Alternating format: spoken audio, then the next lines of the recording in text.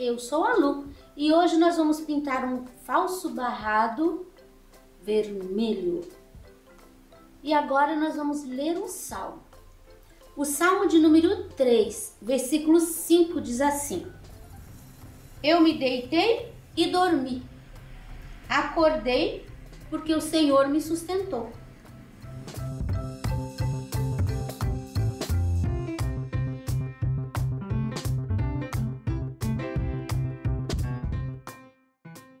Aqui nós temos o risco do babado falso. Esse risco você encontra disponível na minha página www.sonalupinturas.com.br. E nós vamos começar preenchendo essa parte aqui de baixo. Eu tenho o tecido aqui, ó, o pano com barrinha. Se o seu tecido não tem barrinha, você pode pintar do mesmo jeito, só que depois tem que passar termolina, porque a termolina não deixa desfiar. Eu vou começar preenchendo com o pincel número 6. Eu vou preencher esse espaço aqui de baixo, ó, que sobrou. Você vai preencher de uma ponta na outra, bem certinho, com a tinta do jeito que veio no potinho porque eu deixei aqui um espaço bem pequeno. Você pode usar aqui, como eu, a cor vinho, você pode usar a cor que você quiser. Pode mudar as tonalidades, combinando, vai ficar bonito. De qualquer cor que você quiser fazer. Eu vou preencher o meu, depois eu mostro pra você. Olha, já preenchi bem direitinho de uma ponta na outra. Agora, eu vou preencher esse espaço aqui em cima, tá vendo? Eu tenho um, dois. Eu vou preencher esse que tem risquinhos. Eu vou preencher inteiro, também de um lado no outro, bem certinho, somente o espaço que tem risquinho. Olha, preenchi aqui, aí tem esse intervalo que não tem nada, aí preenchi o lado de cá. Agora, essas partes a gente vai deixar secar, enquanto isso, nós vamos pintar o babado. Eu vou usar o vermelho vivo, mas eu vou colocar, eu tenho aqui, ó, um potinho que tá mais ou menos aqui, ó, metade, tá? Mais ou menos metade de tinta. Eu vou colocar umas gotinhas de água para ele ficar mais líquido, mas de forma que não escorra, tá? Não é muita água, é só um pouquinho. Só para facilitar o trabalho de espalhar. Olha, eu usei o pincel número 6 para fazer todo o contorno. E agora eu tô usando um pincel número 12 para preencher aqui por dentro. E olha como o risco aparece inteirinho. Nesse desenho, eu repeti esse padrão. Essa dobra eu repeti aqui da esquerda, eu repeti aqui na direita, depois eu fiz metade de cada lado. Então, o que eu fizer aqui vai ser igual aqui. O que eu fizer aqui vai ser igual no outro. Eu repeti o padrão. E agora eu vou colocar a sombra com o pincel número 6, com a cor vinho. Eu vou escurecer o que tá por trás, porque isso daqui é uma dobra de tecido. Então, tem uma parte que tá por cima e tem uma parte que tá por trás. Então, quem tá atrás vai ficar um pouquinho mais escuro, vai ficar sombreado. E é isso que nós vamos fazer. Cantinho. Já faço a mesma coisa do lado de cá. Dou uma limpadinha de pincel. Agora, eu vou fazer aqui em cima. Coloco um pouquinho de tinta e eu vou puxar essa tinta. Só que eu vou deixar arranhado. Porque isso daqui tá franzido. Vou arranhar aqui bem no meio, ó. Toda essa área de cima aqui, ela vai ficar escurinha assim. Pronto, tirei o excesso de tinta. Tipo, limpei meu pincel. A parte de cima ficou toda escurinha. E agora eu vou fazer aqui embaixo. Você viu que a gente tem uma dobra e outra dobra. Sempre aqui, esse tá por cima deste e este tá por cima deste. Então, as sombras vão ficar aqui, ó, sempre por trás. É isso que dá aquela sensação de tridimensional. Vendo, ó, luz, sombra, luz e sombra. Do lado de cá é a mesma coisa. Praticamente todos os barrados falsos partem dessa premissa. Você tem que trabalhar a luz e a sombra. Se você aprender a fazer isso aqui, você vai pegar qualquer risco de barrado falso e você vai entender como funciona. Esse tá por cima desse lado e por cima desse lado. Agora, esses outros dois que estão dos lados, eles ficaram ao contrário. Se esse estava por cima, esse tá totalmente por baixo. Então, ele vai levar sombra dos dois lados. Esse levou luz, ó, aqui ficou clarinho e aqui ficou clarinho, é a luz. E já esse daqui vai levar sombra dos dois lados. Aqui em cima também vai ficar escurinho. E eu vou puxar, puxar dois franzidos aqui, maiores, né? Depois eu puxo alguns assim menores. Eu vou limpando meu pincel. Não coloque muita tinta, coloque sempre de pouquinho. Procure não dar uma pincelada muito forte em cima das bolas. Tá vendo aqui, ó? Eu tenho uma bola. Dei uma pincelada grande aqui e outra aqui. Isso aqui não é um padrão, porque aqui o tecido tá franzido. Então, ele vai ficar com várias linhas. Aqui eu já tenho o começo desse padrão aqui que a gente já resolveu. Eu vou colocar um pouquinho de sombra aqui, porque eu só coloquei tinta até a metade. Vou dar uma franzidinha. Vou colocar a sombra aqui. Eu tô repetindo o padrão que eu tenho ali, que eu já ensinei pra você. E do lado de cá mesma coisa. Esse lado aqui seria esse lado aqui, ó, igualzinho. É o mesmo padrão.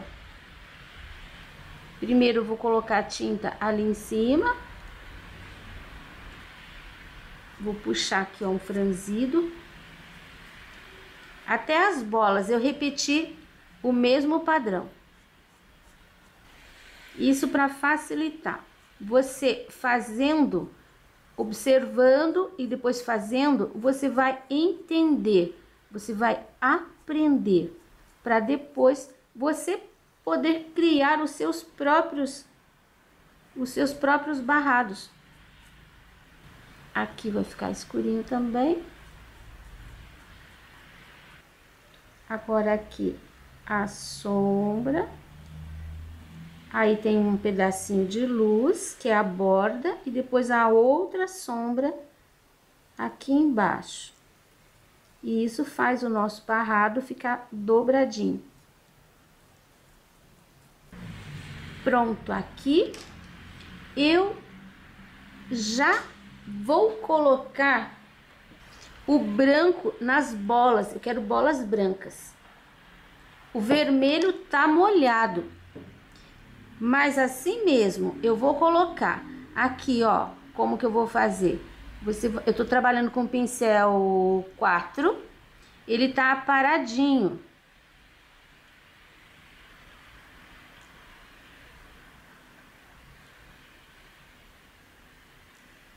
Não vai ficar aquele branco puro, porque o vermelho tá úmido. Então, você vai colocar a tinta com bastante cuidado. Você pode até pegar um pincelzinho menor. Você vai colocar, primeiro gira o pincel de um lado, depois gira o pincel do outro lado, depois termina a emenda. Você viu que o centro fica mais vermelhinho. Aí você faz isso aqui, ó, você dá uma limpadinha. Depois aqui mais uma que vai ficar inteira. Aqui tenho mais meia bola. Aqui eu tenho mais meia bola, já vou aproveitar. Vou aproveitar a tinta do pincel. Aqui também eu tenho meia bola. Agora, você tá vendo aqui em cima que tá bem escuro. Essas bolas aqui, elas não podem ficar totalmente brancas. Então, eu tenho aqui um, um, uma sombra, uma dobrinha que passou bem no meio. Eu vou colocar um pouquinho de branco aqui. Vou colocar um pouquinho de branco aqui, do outro lado. E aqui eu vou deixar assim, um pouquinho mais, um pouquinho mais suave. Ficou aparecendo a linha de vinho. Aqui e aqui também. Não tô colocando tinta. Só um pouquinho. Tenho que pegar mais um pouquinho, mas bem pouca. Inclusive aqui você pode colocar e você pode esfregar o teu pincel um pouquinho mais. Para esse branco sumir um pouquinho mais. Então, aqui vai ficar preenchido bem branquinho. Aqui, onde tá escuro, vai ficar preenchido com um pouquinho menos de tinta. Depois a gente vai reforçar essas linhas, mas isso tem que esperar secar. Eu vou terminar o meu colocando as bolas, aí eu volto para mostrar para você. Eu já fiz todas as bolinhas, agora eu vou fazer um acabamento aqui, ó, nesse vinho que já tá seco, branco e o pincel zero. Se você quiser, pode fazer com um pincel mais grosso. Às vezes eu faço com um pincel 2. O resultado fica bom também. Nós vamos fazer risquinhos. Eu gosto desse acabamento com risquinho. Olha. Aqui é mais compridinho. Eu tenho a costura que atrapalha um pouco. Eu vou dar uma distância assim de meio centímetro. Aí, aqui, ó, vai ficar bem mais fácil. Eu coloquei bem na beiradinha da costura. Pra ficar mais curto esse espaço. Você já viu como vai ficar. Se tiver dificuldade de fazer, você pode colocar a régua. Você pode colocando a régua assim, ó. E seria melhor desse lado, né? A régua tem um, um dente aqui. Você deixa esse dente para baixo. Assim. Aí você vai passando o teu pincel Tá vendo? Você afasta a régua, passa o pincel. Eu vou terminar o meu, daí eu volto para mostrar mais um detalhe. Já terminei a parte de baixo, agora eu quero mostrar para você esse espaço aqui. Pincel zero, carrega de tinta e você vai fazer aqui, ó, um contorno com a tinta branca, que pode ficar mais grossinho. Pode não, ele deve ficar mais grossinho. Você vai passar a tinta bem em cima do risco. Aqui também eu vou passar um contorno branco. Bem em cima do risco. essa beirada aqui, ó, vou passar inteirinho. Quando chegar nessa parte que a gente tem o vinho, você faz o contorno da parte de fora, de cima. Você faz o contorno aqui, ó, na parte de baixo, de dentro. E é assim mesmo, tem que carregar o pincel de tinta a todo instante. Cada vez que eu carrego aqui, ó, dá pra fazer mais ou menos 2 centímetros. Mas às vezes tem que passar duas vezes. Depois, você vai fazer isso aqui. Mesma coisa que a gente fez lá embaixo, ó. Só que aqui é mais fácil, porque a gente não tem uma bainha, uma costura. Então, a linha vai ficar bem mais certinha. Olha só, vou fazer isso em toda essa parte do acabamento aqui. Aí, mostro novamente pra você.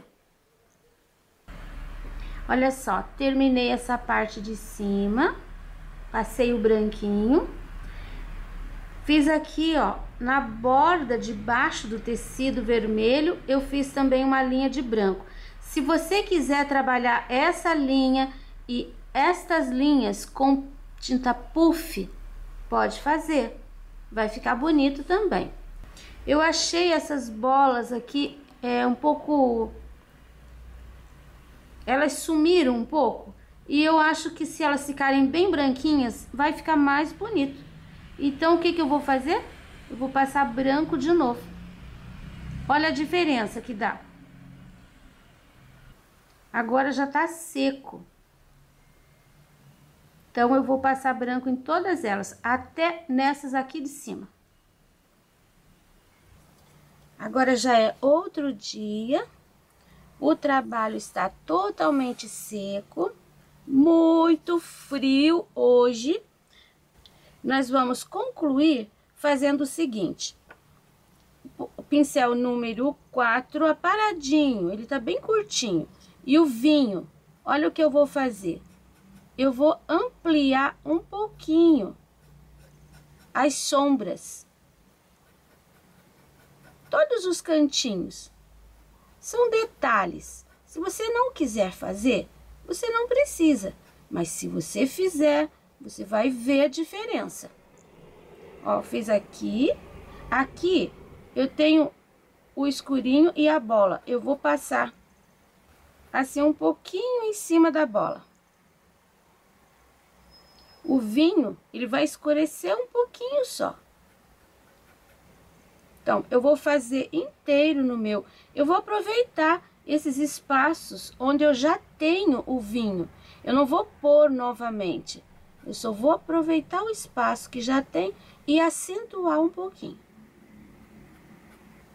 O trabalho está concluído. Esse risco você vai encontrar gratuitamente na minha página www.sonalupinturas.com.br. Muito obrigado se você é meu apoiador. E agora nós vamos ver para quem vai o beijinho de hoje. Esta é minha aluna virtual de Janira, que mora em Campo Magro, região metropolitana de Curitiba, Paraná. Ela já esteve me visitando no ateliê e disse que sempre fala sobre e recomenda as aulas do canal Sonalu Pinturas, que ela segue já há bastante tempo. A pintura da Dejanira é tão perfeita que ao ver um jarro com abóboras e tomates que ela havia pintado, achei que era o meu. Essa aluna com certeza irá me superar. Orgulho da professora! Dejanira, hoje o beijinho especial, acompanhado de muito carinho, é seu.